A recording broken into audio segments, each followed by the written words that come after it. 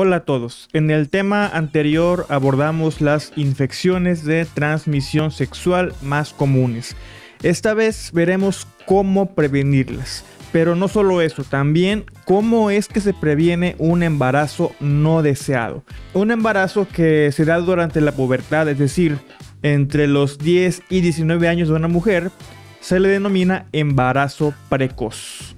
En México, nada más en México, en nuestro país, cada año nacen 340 mil bebés de mujeres menores de 19 años. Y es justamente México el país que ocupa el primer lugar en el mundo en embarazos precoces. Ahora, esto definitivamente no es para alegrarse. ¿Por qué? Porque como ya les he repetido, una mujer cuando se encuentra en la pubertad, aunque biológicamente ya puede quedar embarazada, esto no quiere decir que ya se encuentre lista para eso. Y de hecho, el cuerpo de una mujer en pubertad aún se encuentra en desarrollo. Es decir, que no se ha desarrollado al 100% y esto puede traer consecuencias, no solo para ella, sino también para el bebé que viene en camino, que ninguna culpa tiene. Todo bebé tiene derecho a nacer en un ambiente favorable y en las mejores condiciones posibles. Normalmente a esta edad que les comento, una mujer tampoco se encuentra preparada ni emocionalmente ni mucho menos económicamente porque un bebé no nada más requiere un techo, sino que también requiere toda la atención del mundo. Un bebé requiere de padres responsables que se ayuden entre ellos para salir adelante y sobre todo que tengan los recursos suficientes para poder comprar todo lo que el niño o niña necesitan, como leche, como pañales, ropa, juguetes, medicina, etcétera, etcétera, etcétera. Es por todo lo que les acabo de decir que un embarazo precoz tiene muchos riesgos, los cuales les voy a comentar a continuación. La anemia es el riesgo más importante y es que una mujer embarazada necesita nutrirse mejor porque gran parte de los nutrimentos de su organismo son los que eh, están manteniendo vivo al nuevo ser. Así que vuelvo a lo mismo. Si la futura mamá no cuenta con los recursos suficientes eh, para alimentarse, evidentemente al poco tiempo comenzará a presentar síntomas de anemia o una desnutrición severa que no solamente puede poner en riesgo la vida del bebé, sino también la de ella. El segundo es la hipertensión gestacional, que no es más que el aumento de la presión arterial durante el embarazo. Esto también es un riesgo común en una adolescente embarazada y es que igualmente puede provocar la muerte de ambos. Se han dado también casos en los que la madre da a luz antes de los nueve meses. A esto se le llama el parto prematuro.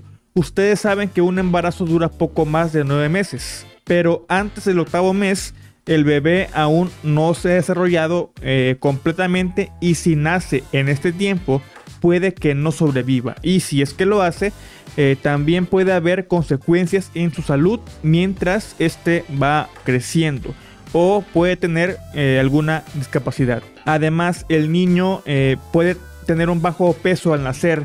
Esto derivado de la anemia de la mamá o, o de un parto prematuro. Estos son los cuatro principales riesgos en cuanto a la salud del bebé y de la madre. Eh, sin embargo, también hay riesgos psicológicos y sociales. Uno de ellos, y el más común, es el abandono de los estudios. Eh, por lo mismo que les comento, un bebé requiere, además de atención, que los papás cuenten con los recursos económicos suficientes para darle una vida digna al bebé. Muchos adolescentes dejan la escuela eh, mientras están embarazadas. A veces porque los papás les obligan a casarse y después de eso ya no tienen tiempo ni los recursos para poder seguir estudiando. Tampoco tienen dónde dejar al bebé. Y total que el niño nace y después ya no regresan a la escuela a estudiar. Solamente llegaron a secundaria o, o a prepa si bien les va.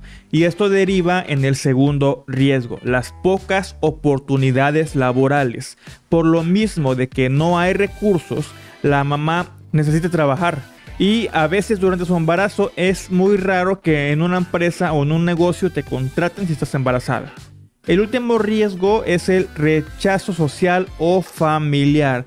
Más que nada el familiar, porque a veces los padres simplemente no aceptan el hecho de que su hija de 12, 13 o 14 años vaya a tener un bebé y simplemente no las apoyan. Además hay un cuarto riesgo que no aparece aquí y que se puede dar a cualquier edad, pero durante la adolescencia es más común que el padre se vaya por cigarros y que ya no regrese.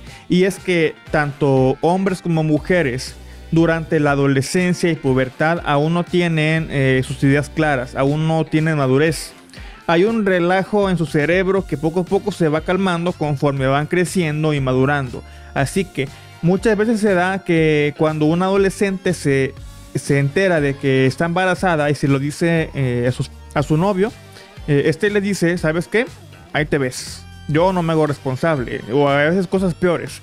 Eh, algunos hasta dudan de que el bebé sea suyo solamente para zafarse del compromiso. Durante su noviazgo todo era color de rosa, la chica le decía al novio que es el amor de su vida y viceversa, ya hasta se dicen que se aman y que quieren pasar todo el tiempo, eh, todo el resto de su vida juntos. Y cuando ya esta queda embarazada, tómala. Al novio se le olvida todo.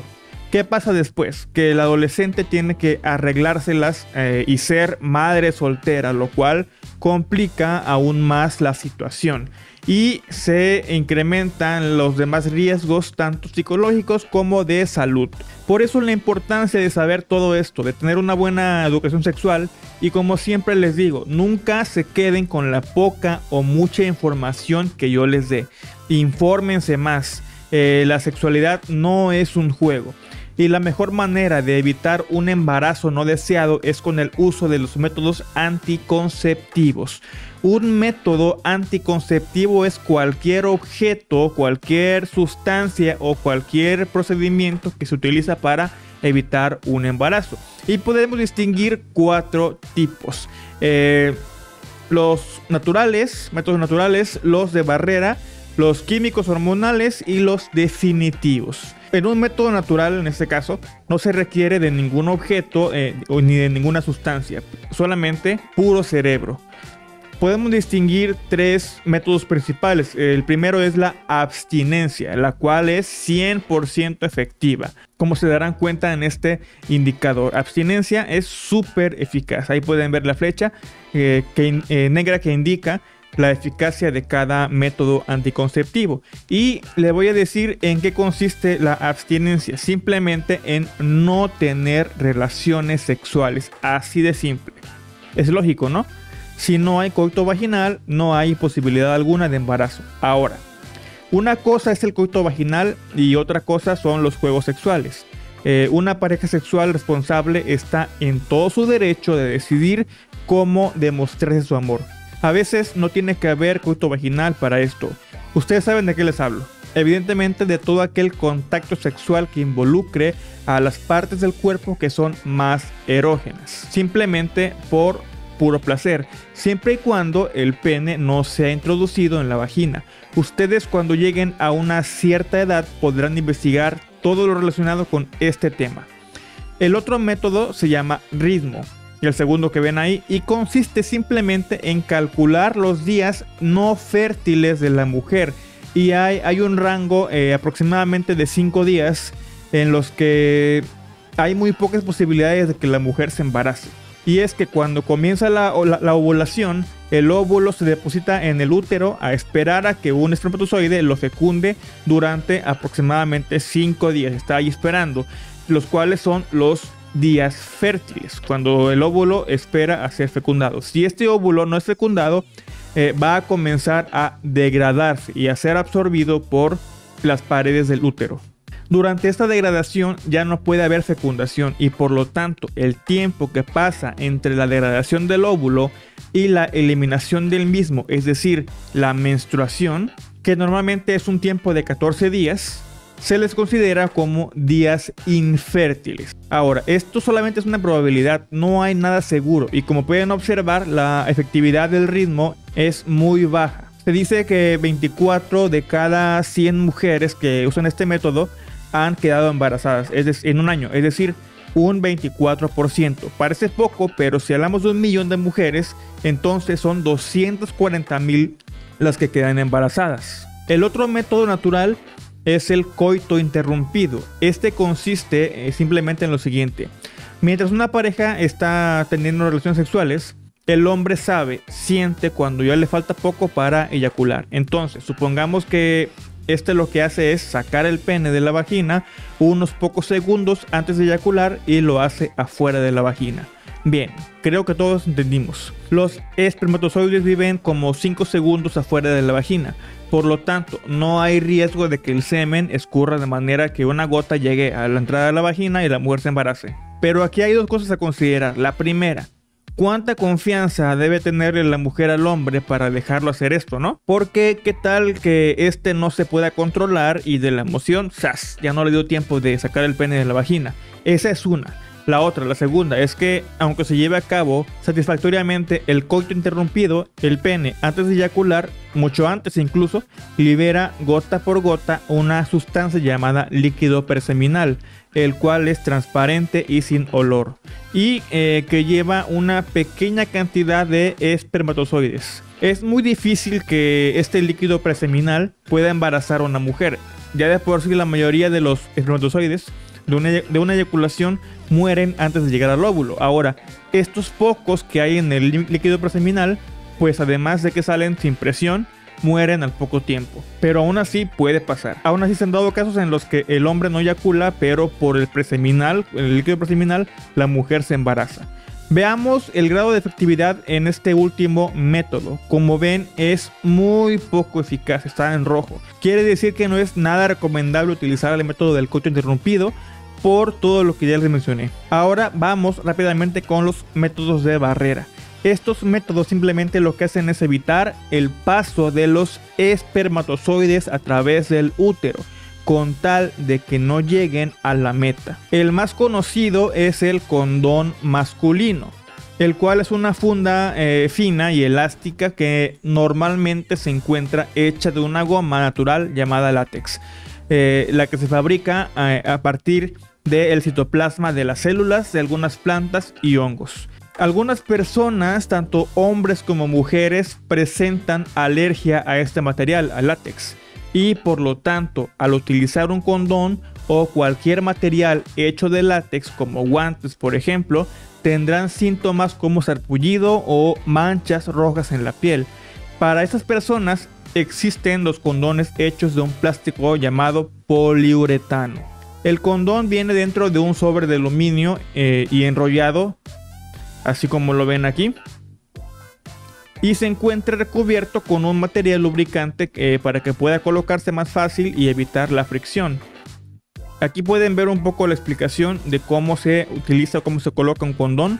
Eh, no lo voy a explicar porque por razones de tiempo, porque no quiero que el video sea tan, tan extenso. En YouTube hay muchos videos sobre la forma en cómo se eh, coloca correctamente porque no nada más es ponerlo y ya. El condón evidentemente debe de cubrir el pene cuando está erecto y eh, tiene un espacio eh, o una pequeña bolsa para retener el semen al momento de que salga del pene. Esta bolsa no debe tener nada de aire. Como ven en la imagen número 5, se debe de eliminar, 4, perdón, se debe de eliminar el aire antes de desenrollar el condón sobre el pene. Y entonces esto evita, eh, obviamente, eh, la entrada de los espermatozoides en la vagina. El uso correcto del condón previene no solo de un embarazo, sino también de cualquier infección de transmisión sexual. Por lo tanto, lo, lo ponemos como un método eficaz debido a que los riesgos eh, que tienen de romperse son pues considerablemente altos. Es un método entonces eficaz, pero es un método, como les digo, que eh, previene, que evita las infecciones de transmisión sexual. Por eso el mejor método es este, el condón, el más completo. Otro método anticonceptivo es el diafragma, una barrera como la que están viendo y que se coloca en el interior de la vagina. ¿Qué es lo que hace? Simplemente detiene el paso del semen para que no llegue al útero.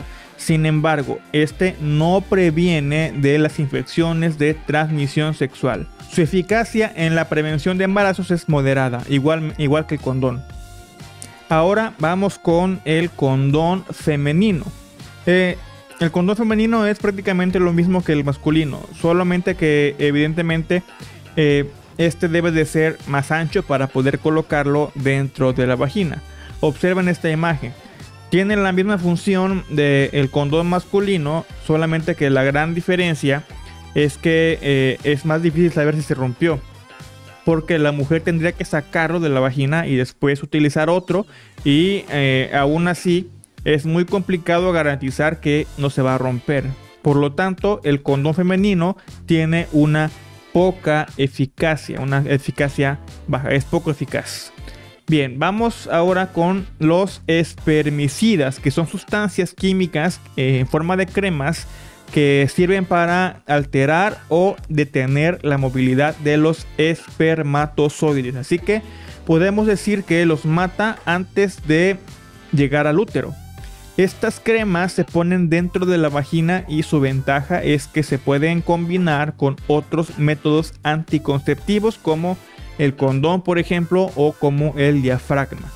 Aquí están viendo la imagen de cómo se coloca y eh, por sí solo los espermicidas son un método muy, eh, bueno, poco eficaz. Es un método poco eficaz. Eh, ahora, el dispositivo intrauterino, también llamado DIU, es un aparatito como este en forma de T que se coloca dentro del útero. Observen cómo queda. Eh, obviamente es algo que solamente puede colocar un ginecólogo. Se inserta con los brazos doblados y como si fuera un, palito delgado. Y ya al llegar al útero se abren los bracitos y queda en forma de T. Eh, y las, cada brazo evita el paso de los espermatozoides. También algunas variedades de, DIU están hechas de cobre, como la imagen anterior. Voy a volver a ponerla. Eh, porque el cobre también podría considerarse como un espermicida. A los espermas no les agrada ni les gusta el cobre. En pocas palabras. Este es uno de los métodos más eficaces, como pueden darse cuenta con, en esta imagen.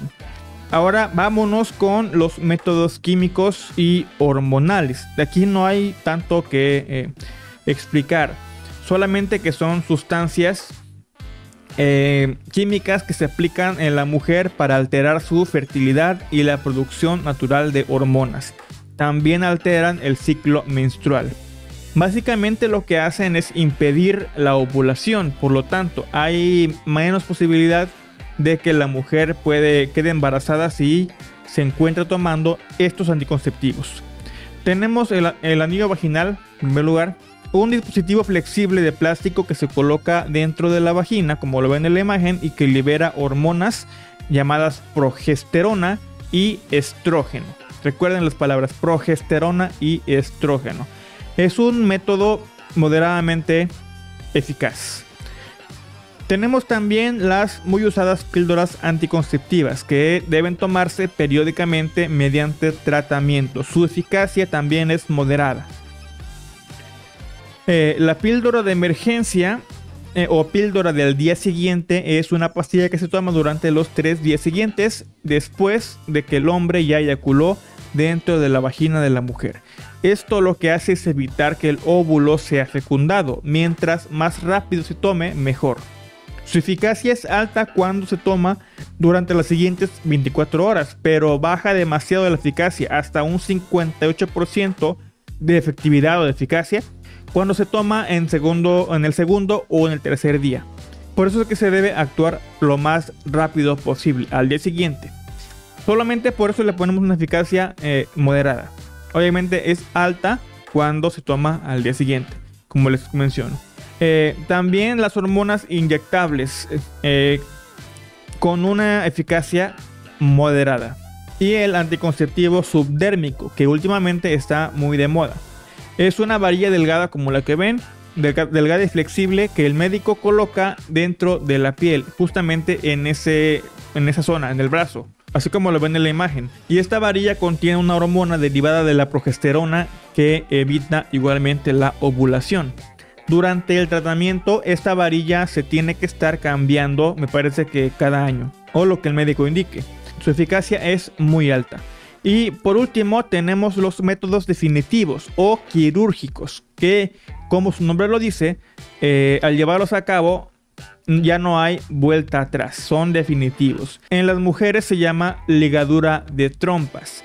El médico cirujano deberá cortar las trompas de falopio y después atarlas, hacerles un nudo o ponerles una especie de liga para poder eh, mantenerlas así, como ven en la imagen, dobladas. Esto evita que el óvulo baje al útero y por lo tanto ya no podrá haber ni ovulación, ni embarazo y quizás tampoco ni menstruación.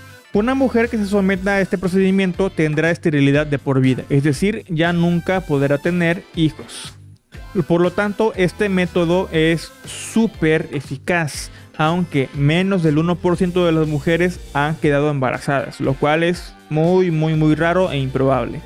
Y en los hombres se llama vasectomía, y en la que el médico hará un procedimiento similar, pero con los conductos diferentes, que, es decir, los conductos que son los que transportan a los espermatozoides.